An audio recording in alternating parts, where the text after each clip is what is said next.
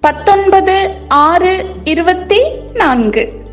இன்றைய பரலோக மன்னா. சங்கீதம் நூத்தி பத்தொன்பது எண்பத்தி இரண்டு.